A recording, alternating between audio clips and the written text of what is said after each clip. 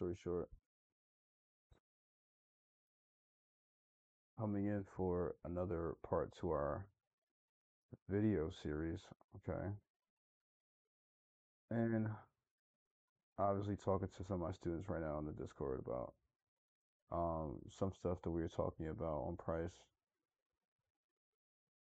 And uh, like the interesting part is there's a lot of resources in here. Um, I have all sorts of different chats. There's my content, YouTube links, ideas, experiments, wins and losses. Uh, I trade forex, crypto, and options. Uh, we do narratives. We do swing trading ideas. Um, obviously, we trade intraday, of course.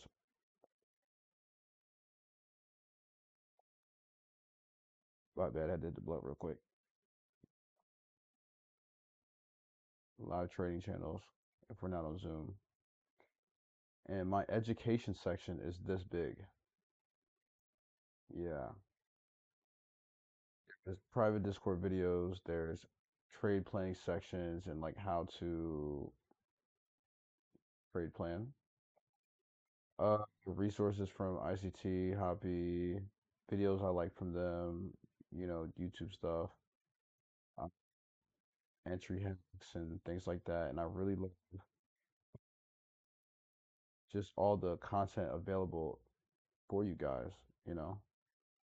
It's as big as a book, I'll be honest. There's a lot of information here. I mean, I can just, you know, go anywhere. It gets, yeah, gets crazy. There's a lot of resources here that you guys can go and check out. All right. So yeah, if you ever want to join the Discord, just let me know. All right. So anyway, but whole point of this is we're looking at NQ. All right.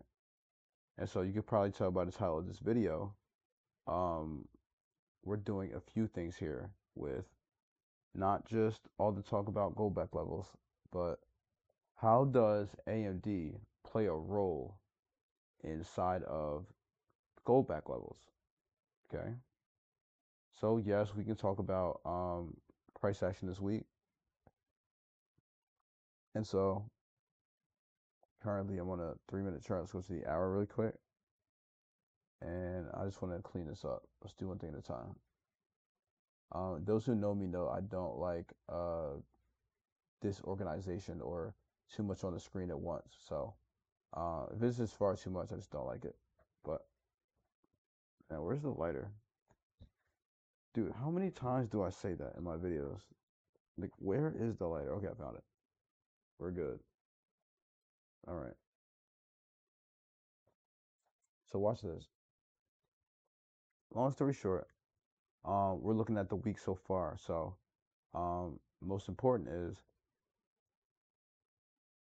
did a live stream in the Discord today, and we looked at this price action, and I called out why buys were appropriate here. And obviously, I was just, just spooling down. This is interesting for this uh, Asia session. We'll get to that. But the biggest thing here, I want like my chart structure. Sunday's the weekend, Monday, Tuesday, and my Wednesday. London is always going to be green. And again, we had a bank holiday. So uh, a complete day is London, New York AM in this brown ish orange. I have no idea. If somebody in the comments can tell me like uh what color this is officially, like is it brown? Is it orange? I I'm terrible at seeing certain colors, so like I think it's brown, but I have no idea. Um this is red, I can see. Yes. And obviously black is um separating my my days in between Asia session, right? Um, and I, I always say where I get my references from. So, um, big shout out to PC who taught me about weekend, Saturday, Sunday, and sessions. Ever since then, I mean, he's completely correct. This is how you look at the marketplace, and it makes everything super visual for you. The reason why I bring that up, right, Obviously, we know what time the sessions opened clearly, okay? Um, this indicator I mentioned before is slightly off on when we're trading futures. When trading Forex, it's fine, but uh, trading futures, it's going to be off by an hour.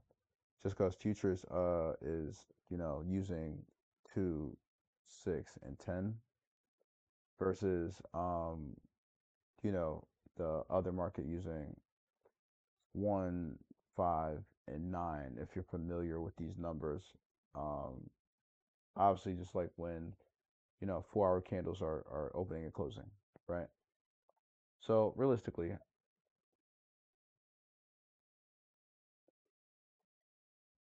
was blood inspired.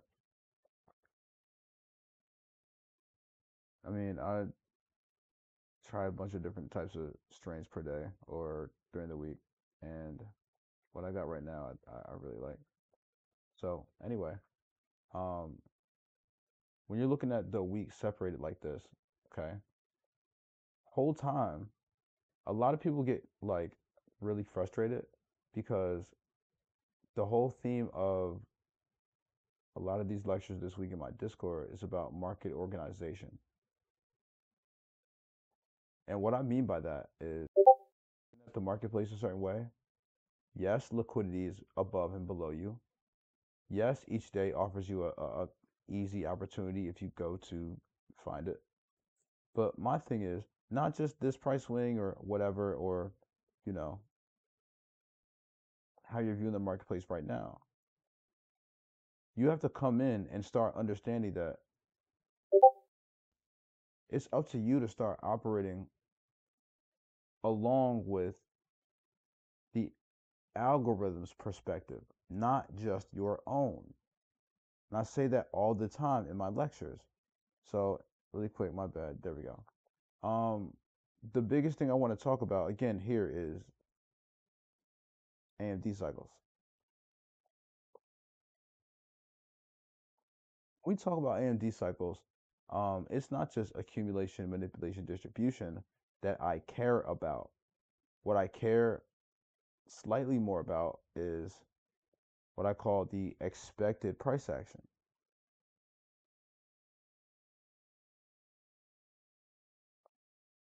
And again, I talk on this with my students a lot. Think about this.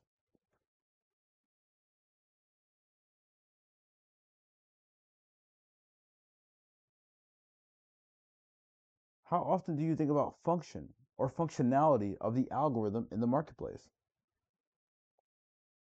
If I'm talking about expected price action, AMD cycle.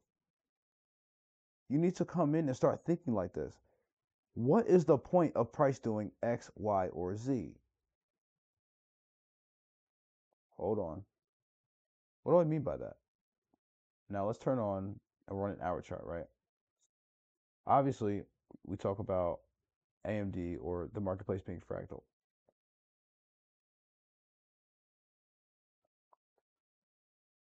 Since this is very visual, right? We have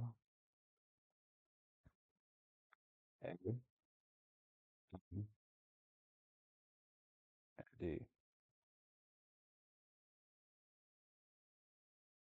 And the reason why we talk about AMD cycles, it's not just random. It doesn't start just at any time. It's perfectly organized. And that's what I want you to understand. And so, obviously, those who are, and big shout out to Daye, right? So, Daye Theory. He does an incredible, incredible, incredible job. And once you backtest and you understand how this works, he is completely, completely correct. There's two processes that happen inside of AMD. And I just deleted it. I do this all the time. Now watch. I want to bring this back really quick on screen. So AMDX and XAMD. Right. And again, he is completely, completely correct. The reason why this is so cool is again, we see a lot of evidence of this wherever you want to search for it. So, do you see how even last week, okay? And this is my point. We're going to check out this week and we're going to do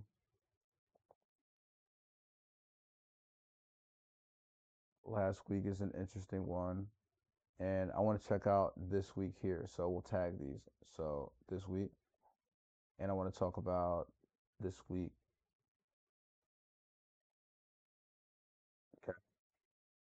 And again, if I'm saying that there's two processes for AMD, before we drop down to the intraday and I'll show you that way, I want to talk about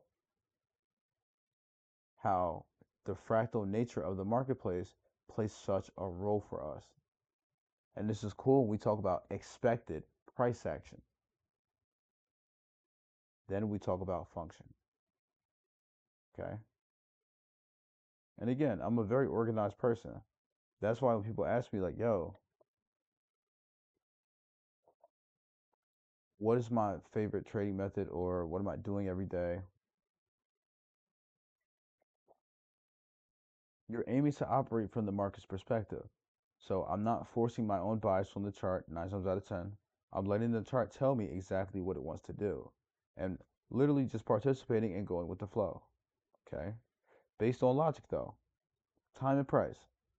So when we talk about AMD, how cool this is, we understand that AMD is just a, you know,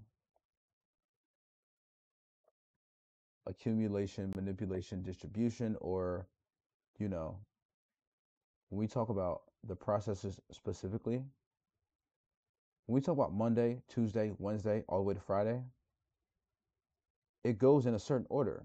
And you can actually catch it and see it based on the price action. And now when you go to trade this on a certain day or a certain week of the month or a certain 90 minute cycle, this is what I mean. Do you see this Monday here? It's very trendy, isn't it? Yeah. Now, when you look at it this way, right? Every single day is one part of this process or the other one. And again, these go in a specific order. So if it's accumulation, manipulation, distribution, and we're going to talk about X. Accumulation is what we expect it to be.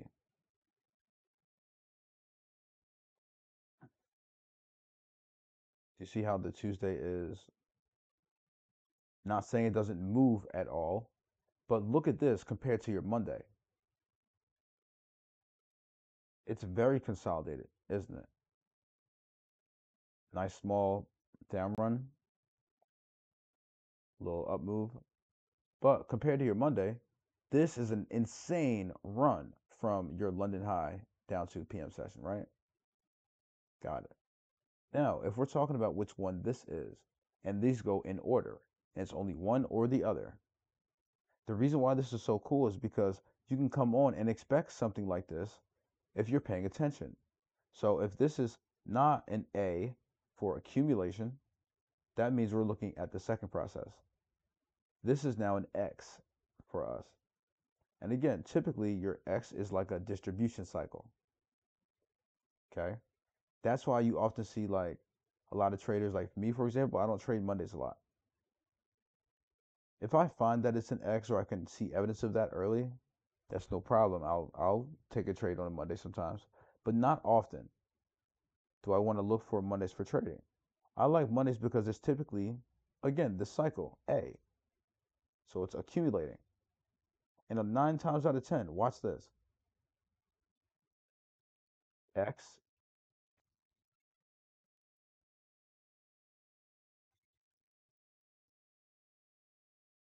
manipulation.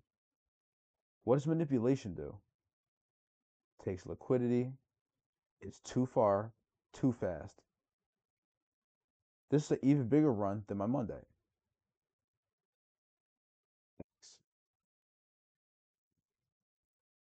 On Tuesday. Wednesday is manipulation. And then look what happens on the Thursday. We do this insane run for a distribution day. We come down a little bit, but realistically, since this distribution is technically a bullish distribution, distribution can often start wild moves. So think what happened from here going into the Thursday, You pop into a distribution cycle. And see, um, Monday takes liquidity from Friday, and now you're you're bearish. But now think about this. Again, I'm doing one week at a time. And I'm showing you. The reason why we know that it's an X is because it's too trendy.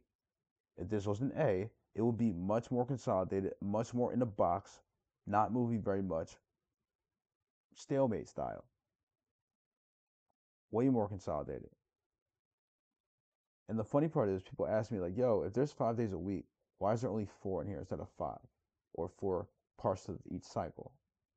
It's just five days. You learned from ICT that Friday is a measure of retracement in some way, shape, or form.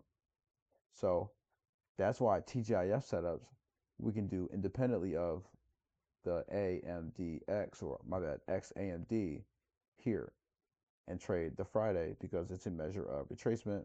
We're just going to come in and again, here's this fair value gap, optimal trade entry style, boom. You can sell AM and then buy PM if you wanted to, but I'm not interested in trading both sides at the same time normally. Um, if I know the macro for the day or the day's bias around a certain time of the day, like New York optimal trade entry, I'll just run that and be done for the day and be satisfied, not over trading. Never encouraging that.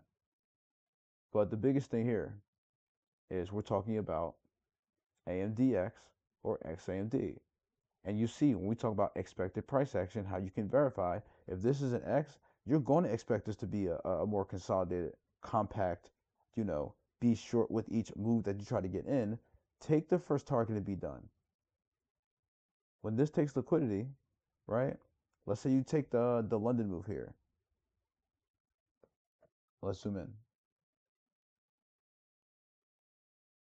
Right? But we understand the range on this one is going to be a lot smaller. Let's say you take that turtle soup right here. This is like a London high right here, four o'clock in the morning, London kill zone. You have Asia that's wide open as, as buy side liquidity. We always talk about accumulation being, um, again, always getting destroyed on both sides of the marketplace. So the top here gets destroyed by London you could take profits right at this uh previous day's low. Leave a runner if you want to.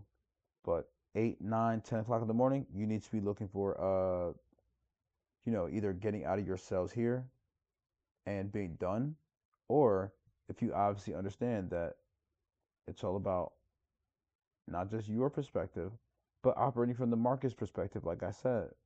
So when you're coming in like this, you're underneath previous day's low. And again, even if you're not expecting Monday's high, you have to only just understand the assignment. I say this to my students all the time. Understand the assignment here. It's an A. So this is X. It's going to be a more super, super trendy day. It's not going to give you two of these in a row. X, A, M. You know what I mean? And we understand manipulation and what it is. We talk about function. A or whatever is going to be accumulated. It's going to be up, down, up, down. It's going to be annoying like that. It's going to create liquidity into the marketplace up and down, just like Asia does. Do you feel what I'm saying? That's why it looks like this. And when you see a manipulation cycle, way too far, way too fast the entire day. You can come in and expect that. Damn, you know what? XA uh, on the Tuesday, you know what? I got to get ready tomorrow. It's really going to give me some money if I'm ready.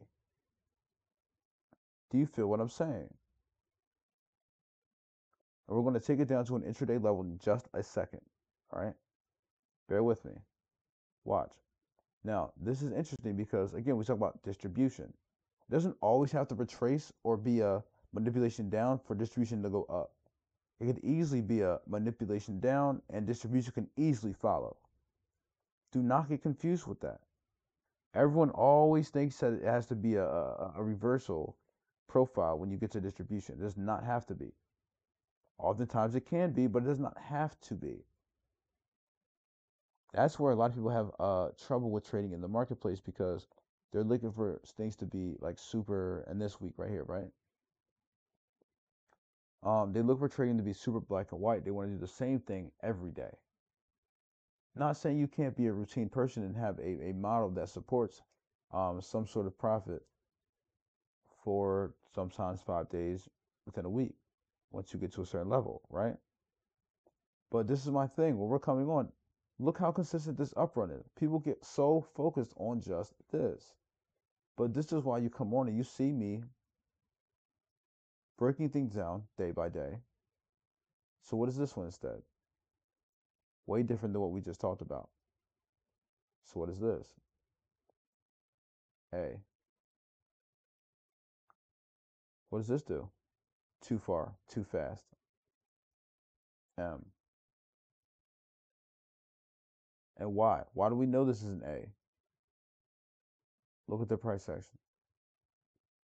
This is why I don't trade Mondays. I watch it. I wait for it. I see what it gives me in terms of structure, not just XAMD or AMDX, but seeing where liquidity also rests anyway.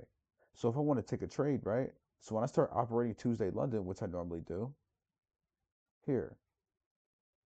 Now I'm coming in and saying, you know what? London makes the low of the day a lot of times, right?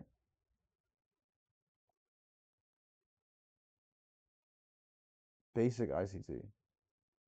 Dude, I'm actually going to use this here because I'm annoyed. All right.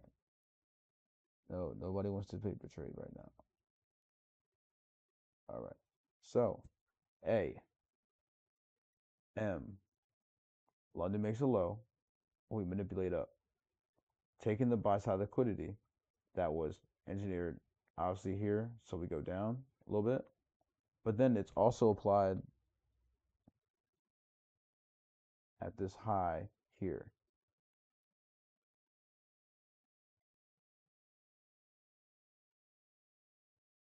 Dude. No, I can tell TradingView's uh updating or doing maintenance. So sometimes some of these uh tools will act like they're not working and they're right on the screen they pop in. Anyway, so I'm going to point to this instead. So watch.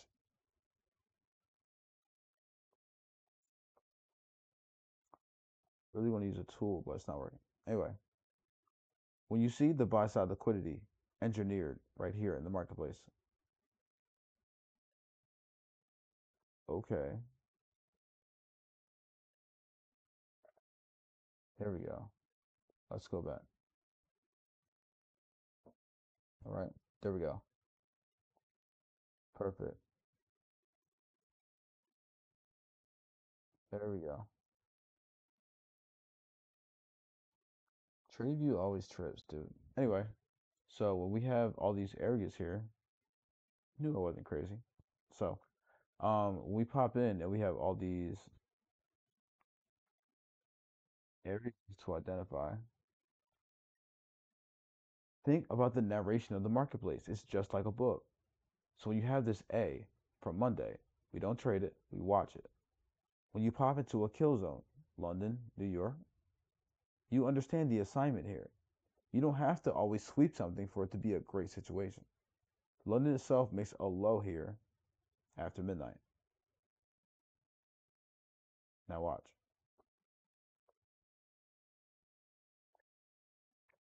Midnight candle, we pop in and make a low. That's your wick to the daily candle. Right here. How it goes up, down, London low, blast off and you manipulate. It's going to take this high and some. It's going to really make people uncomfortable that expected shorts from here. We went down here the last time. Why didn't it go down again? That's why we don't trade retail concepts. Does that make sense? And again, what happens next? A, M. Come on now. Be creative. M distribution. And X, there's two distribution cycles. Your X, A, M, manipulates, takes liquidity, goes crazy. Soon as we get to again, what? That's why this is highlighted a certain way visually for me. You can steal my chart layout all, all you want to. Please do. This is easy to look at. It's comfortable visually. I'm on the computer a lot, right? Um, A, M, D, optimal trade entry. There's a fair value gap down here that you can reference if you want. You can use Goldbach levels if you'd like. Doesn't matter. But again, you're expecting, okay, if I can just tap in and find what direction I still need, maybe it's still bullish. We're going to check for it. But like I said a few minutes ago, manipulation up does not mean distribution has to go down. It does not have to do that. People have to stop believing that. It could very well manipulate up, distribute right up to. No problem with that. You have to understand where your draw liquidity is, your dealing range high is, your dealing range lows are. You could come in and dominate this thing. MDX. If it's any different, you'll know when Monday is done. Don't trade Monday, even if it is an X and you can see it. Just let your manipulation pop in. Understand the function. Too far, too fast. Catch the move. Leave a runner. If it does retrace on you on that Wednesday, fine. Or if it wants to make bearish price action, I mean, you know, you're not holding it, obviously. But let's say you wake up, you know, Wednesday, whatever, and you're looking for immediate uh, buys again or sells. And the sells don't work. 8 to 11, you're looking for New York optimal trade entry. You get that, and you blast off again. Boom, bullish. And again, London here does an amazing job. Let's turn it up, right? Three minute chart. Let's go current or near current. The reason why I'm trying to get you guys comfortable with some of these ideas. And again, there's plenty of resources on this on the internet. So it's not just me. I don't really care where else you um, decide to study the AMD stuff. Um, or any of this stuff for that matter my biggest concern is that you come in and with me, you're going to have a certain understanding. And watch. You have um, a little indicator here by handles something, something, something, right? Let's see, 90 and cycles. Yeah, so this guy, right? Just type in 90 minute cycles and you'll find it.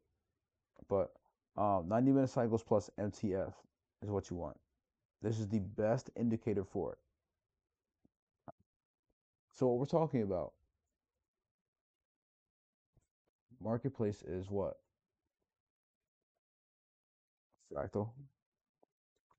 This is a perfect time to, I guess, light the blunt, right? I guess so. Damn. Oh no, my water is on the other side of me. Okay, cool. I couldn't find it for a second. Hit the water real quick. Hmm. But the biggest idea here is that since the marketplace is fractal, the candles themselves are fractal, the concepts we use are fractal, it makes so much sense not just to come in and say, you know what? Damn, maybe I'm stuck looking at the daily, or maybe I'm stuck looking at the a certain time frame. No. You can do the same thing on the day, you can do in the hour, same thing on the hour, you can do in a minute. Same structures appear, same expected price action. Same thing with AMD here. So when we talk about how to really break this down in a fractal way, the same way I just talk about Monday, Tuesday, Wednesday to Friday, right? Asia session. It's either going to be a now a five minute chart to really show you what I mean. But TradingView is quite slow. Still doing maintenance.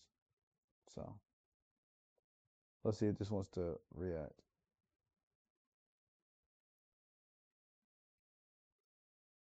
There we go. Right. Now, watch this. Now, on the day by itself, right? See how we have Asia operating here? We have London, New York, and New York PM. But let's break it down one more level, the same way we did on the day. So look at the expected price action, right? Or price action in general. Is this an A or an X? I don't even have to take long. You already know. This is an X. How do we know? Look at this thing. That's a lot of money, man. Think about that. This is not a low box. This does make it seem like, okay, well, it doesn't really go that far. No. But look at this little drop.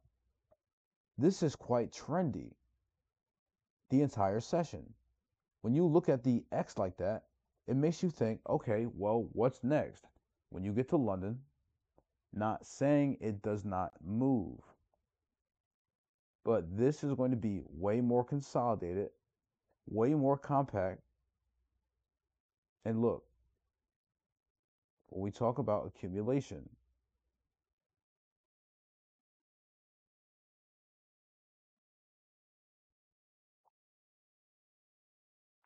notice how the top of London here gets murdered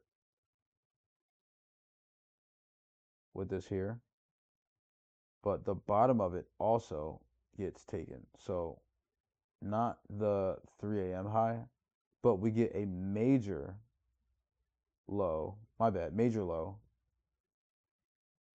from London taken. The whole session is basically straight liquidity. Does that make sense? It's an A. That's why you have to come in and understand fractal concepts. So we're looking at a X, A, M, D on the day. Each session itself is going to be representative of one of these parts of the cycle now. You can come in and do it just like that. The same way that, okay, X, A, whatever, doesn't matter. If Asia was an X, you can leave this alone or you can scalp London. You know it's not going to be a long, intense, crazy price swing like Asia was. You'll have to wait for New York to do that. This is your X a. M.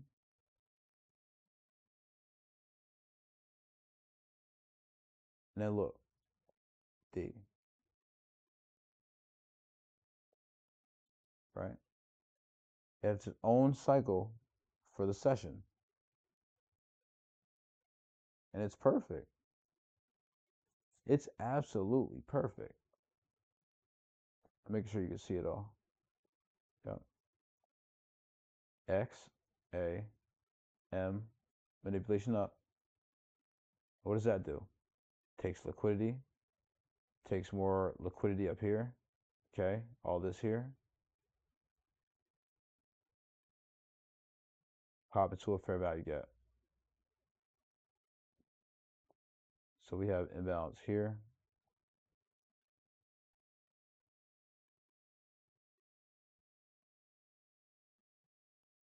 See that? You feel what I'm saying? And so they say, yo, well, how do you know the distribution is going to go downside and not like just straight reverse on you like that? How do I know that this is going to be a singular move? You're operating one at a time. So X, A, trade the M, and be done when this is almost over. When the session is almost over, evaluate where you are. If you like this here, don't just randomly stay for this just because it's a distribution cycle. Evaluate the price action. And again, time plays the biggest role. So I say this all the time. If you're in at three, because I trade London. If you're in at 3 to 4 a.m., whatever, you're going to be done by 8 a.m.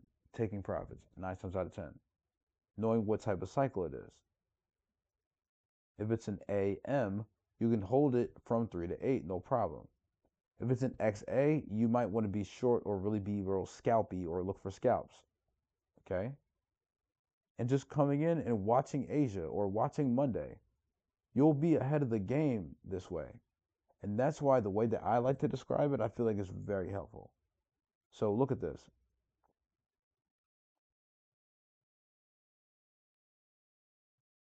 XAM.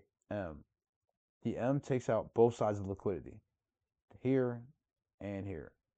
So that's how you know that this is a real manipulation cycle. It's annoying at first. It's going to be scary to those who don't understand what's going on in this area. Yeah, you're going to look for shorts, look for long shorts, and you're getting chopped up. You might even blow an account in this area trading futures. Damn, another reset. You don't want to do that to your account, right? You have to understand your market environment. That goes with understanding if it's X, A, M, or D, understanding when you have news, like we did today at 10 o'clock in the morning. That's why you have the spike down. Everything is explained. And we talked about a lot of interesting things here, especially with the expected price action. Now, when we do a part two on AMD cycles, we'll talk more about what I mentioned earlier 90 minute cycles. Now, watch.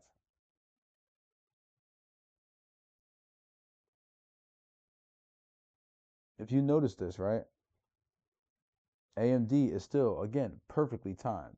The same way how it's one cycle per day, one part of the cycle per session. But each session also has its own A, M, D, X, or in this case, obviously, what? See how the blue right here? Turn these off so you can see. Watch this.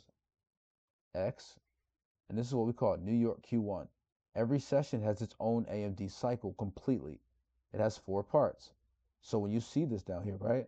This is a 6 a.m. to 7:30. Every single day, you're going to look for this the same time to be an X or an A. For New York, this is an X and look at your A, M. Do you feel what I'm saying? It's very manipulative. Up, down, up, down. But it can start a move. Then you also are left with your D right here. X, A, M, and then distribution. Does that make sense? 6 to 7.30, 7.30 to 9 o'clock, 9 o'clock to 10.30. These are all 90 minute cycles. AMD happens in 90 minutes at a time. It goes from one to the next flawlessly every single day. Go study it. If you're new to this, go have some fun. I'm telling you to go study it. If you're understanding or you've seen the video, you you know about Daye Theory. You can come in and do some cool stuff. You understand what turtle soup is.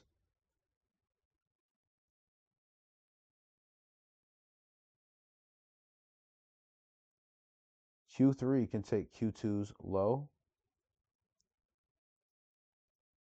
And you can understand that this is what we call it AMD turtle. 90 minute cycle. So when the lows are taken first and all of uh this is wide open in this area, of course it's going to spike up, manipulate, take lows, spike up. You can also see a lot of evidence here too. Watch.